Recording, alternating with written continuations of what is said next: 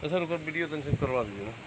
अच्छा हाँ इसी तरह काला गमछा लगा काला गमछा लगवा के काहे की मर्डर केस था सर इसमें हम्म, हाँ मर्डर केस था तैसे तो तीन सौ दो लगल है।